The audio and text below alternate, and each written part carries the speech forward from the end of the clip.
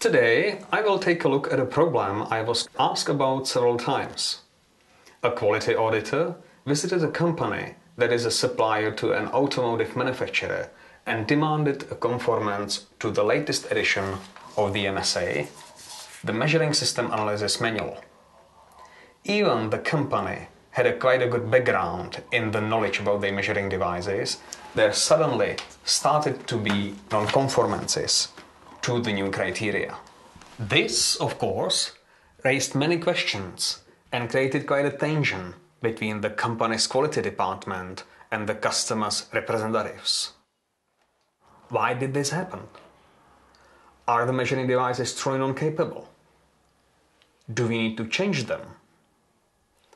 What the measuring device should be like to conform to the criteria? These were the questions that raised naturally and that needed a closer look into what is happening. For now, we will focus on just one of the problems, which is the guidelines for determining bias. The bias is a systematic error of the measuring system, and for the purposes of the standard, it is defined as the difference between the average of the measurements and the reference value. The MSA is for good reasons a simplified way of assessing the capability of the measuring device or the measuring process. Its simplification allows for relatively easy, practical and economical application of the methods. The simplifications, of course, narrow down its use. No doubt it is beneficial to have the bias close to zero, but this is not generally attainable. So, how big the bias can be? The MSA moves into the field of statistics and says that the bias is acceptable if it is not significantly different from zero. And this is expressed as the test of hypothesis, the null hypothesis, the bias equals to zero, and the alternative hypothesis, the bias does not equal to zero. The MSA then provides a guidance on how to acquire the data and how to calculate the needed statistics. This includes the t-statistics for the mean bias. This can be summarized to Choose one part or a master of a known dimension that will be used as a reference value and have an appraiser to measure the part repeatedly, at least 10 times. Calculate the average bias and the standard deviation of the repeated measurements.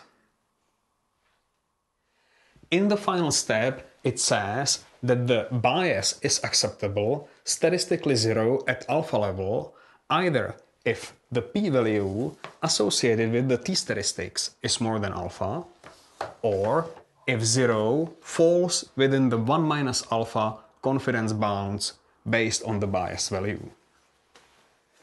The terminology used here is based on statistical testing of hypotheses, as the process corresponds to what is commonly known as one sample t-test.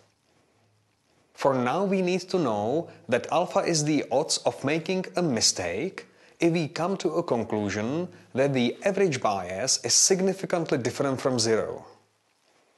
For the MSA, the default value for alpha is 5%. In fact, the two possibilities are identical. If one is true, the other one is also true, and vice versa. So let's work with the letter, which works like this in the MSA. With a little effort, we can rewrite this to this. When pictured so, it becomes more apparent what is going on. The left side of the formula compares the bias to the repeatability through dividing the average bias by the standard deviation of the repeated measurements.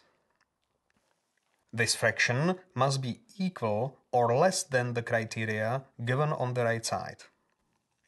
The criterion here is changing according to the number of measurements acquired. There are, in fact, three big problems with this formula. First, it says that the higher is the standard deviation, the higher can also be the bias. the MSA provides some limit on the standard deviation, so it does not allow the bias to go further than the set value, but nevertheless, within this limit, your measuring device will appear the better, the worse will be the repeatability. To demonstrate the second problem, we will take a look at a graph of the right side of the formula. This graph shows how the right side of the formula decreases when the number of measurements increases. This means that the criteria will be harsher if we decide to raise the number of repeated measurements above the bare minimum and eventually it will approach zero. So, for any measuring device with arbitrarily and insanely small bias. You will get incapability if you acquire sufficiently large sample of data. The third problem is the least apparent one and requires a little insight into the t-test nature of the method. Simply speaking, the use of the alpha risk can make an impression that the conclusion is achieved with a certain confidence. But the right side of the equation will actually increase if we choose to lower the alpha risk. In other words, this says that the more confident we want to be that the bias is low enough, the higher we will allow the bias to be. If this sounds as a nonsense to you, yes, you are correct.